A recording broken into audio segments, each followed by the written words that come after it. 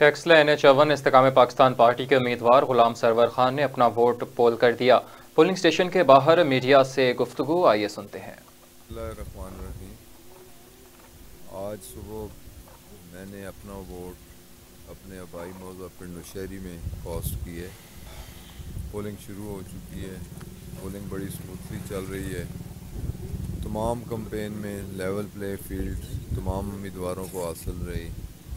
Candidates की participation बहुत ज़्यादा है। आलमोस्ट थर्टी प्लस कैंडिडेट्स हैं नेशनल असम्बली की कॉन्स्टिट्यूंसी में और प्रोविंशियल असम्बली की कॉन्स्टिट्यूंसी में।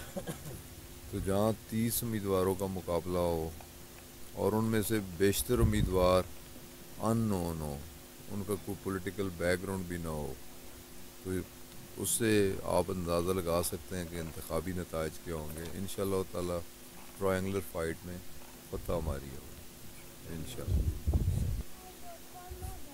नेशनल लेवल पे बड़ा वाज पैगाम है कि जमहूरीत इलेक्शन इकॉनमी लॉलेसनेस ये सारी चीज़ें इंटरलिंक्ड हैं। जमहूरीत बाल होगी इकनॉमिक कंडीशंस बेहतर होंगी लॉलेसनेस की सूरत हाल का ख़ात्मा होगा। तो इसके लिए ज़रूरी है कि मैक्सिमम पार्टिसिपेशन हो मैक्सिमम लोग वोट डालें ताकि लोगों का जमहूरीत पे कॉन्फिडेंस बहाल हो